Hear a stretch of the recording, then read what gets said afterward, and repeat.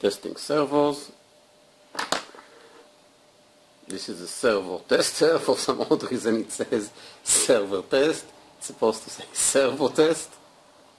It's a very cheap module. You can get it for about one dollar via AliExpress.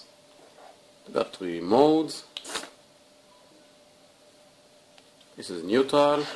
I assume that you can activate it with the signal pin. This is the input. This is the output Uh, there is also a sweep function which simply sweeps the servo. You can connect up to three servos.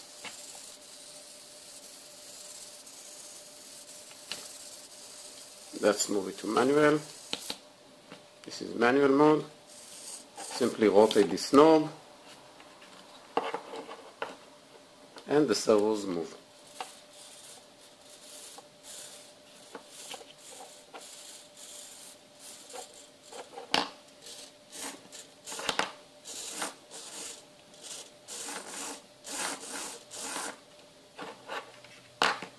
A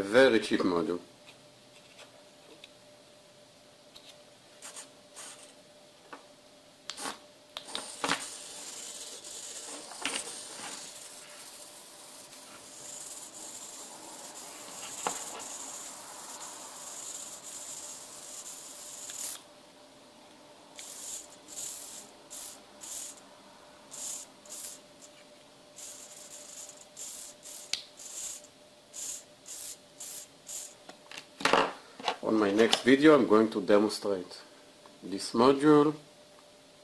It's I2C you can connect up to 12 different servos and control them via only two pins from the Arduino the I2C pins SCL and SDA